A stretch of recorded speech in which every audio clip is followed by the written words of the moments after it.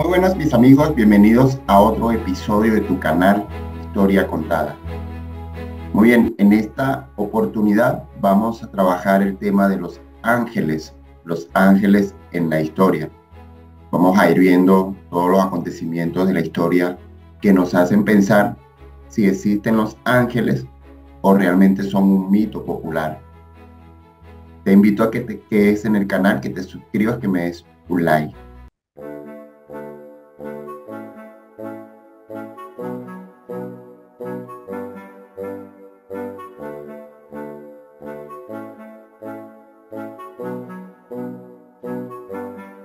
Muy bien, en los últimos 30 o 40 años, el interés por los ángeles ha experimentado un crecimiento, vamos a decirlo, sorprendente.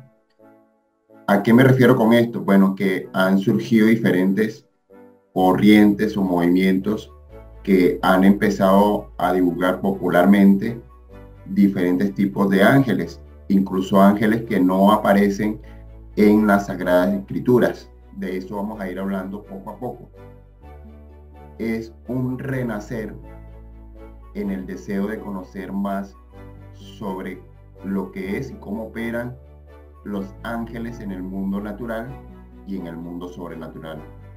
Quizás hay una alimentación más allá de, quizás hay un interés, pero no un interés de conocer la realidad de lo que es la naturaleza angélica, sino un interés alimentado por la nueva era.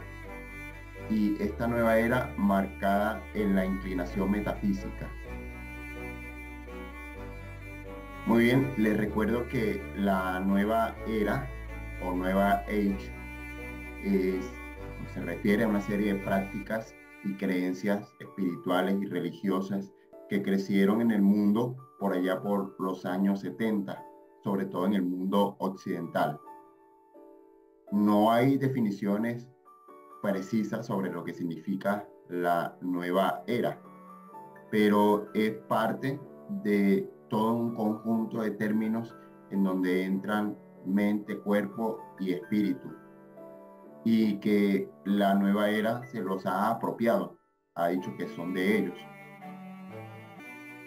Entonces es bueno decir que la nueva era es una forma de esoterismo, nueva forma de esoterismo propio del occidente y que se basó en gran medida en una serie de tradiciones esotéricas antiguas y que surgieron del ocultismo desarrollado a partir de los siglos XVIII y XIX.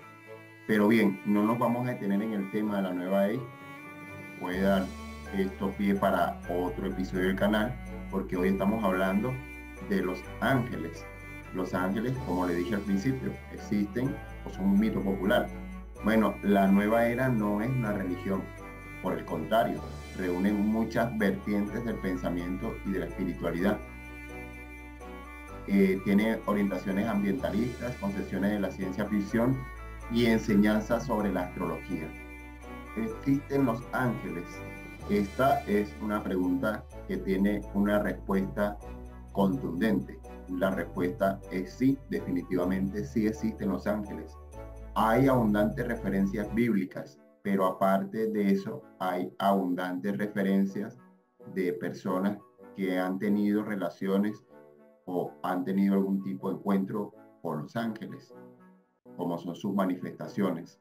A partir de ahí podemos concluir que los ángeles, en primer lugar, son reales, son reales, no son seres que parten de un imaginario que uno lo puede ver en las películas, no son seres reales. Segundos, son creados por Dios. Tercero, cumplen misiones específicas. Y cuarto, no tienen tiempo, es decir, son atemporales, no mueren. De la mano de estos hechos abundan testimonios de personas que aseguran que han tenido encuentros con los ángeles. Hay quienes afirman que en el marco de tales visualizaciones recibieron encomiendas o mensajes que califican como revelaciones.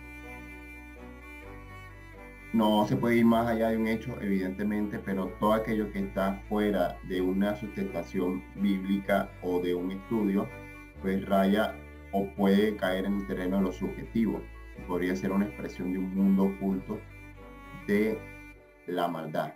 No en vano, entonces se afirma que eh, en el caso de, de Satanás, no en vano se afirma que Satanás y sus huestes pueden ser buenos imitadores de eventos que nosotros podemos pensar que son de naturaleza angélica o que vienen de Dios.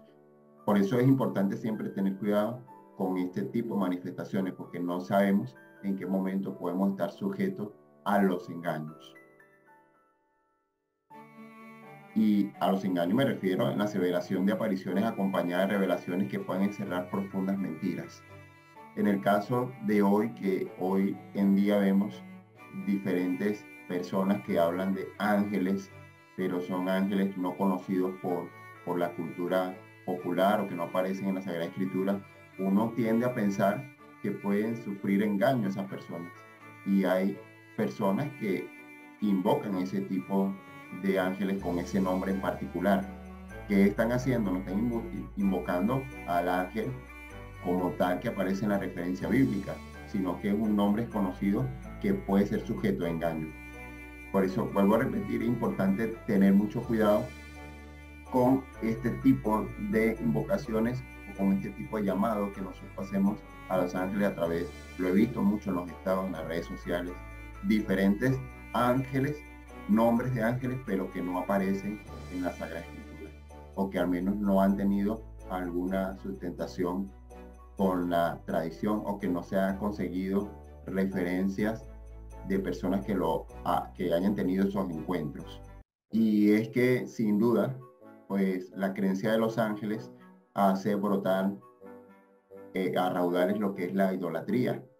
Eh, y eso ha reverdecido o ha crecido alarmantemente en nuestro tiempo, sobre todo en los últimos 20 años, porque no hay la claridad que tenían los primeros creyentes para evitar esa práctica de caer en idolatría. O sea, a día de hoy hay muchas lagunas en la formación que eh, hace que las personas no tengan clara, no tengan claro, o sea, no saben qué son los ángeles, no conocen su naturaleza, no saben para qué fueron creados.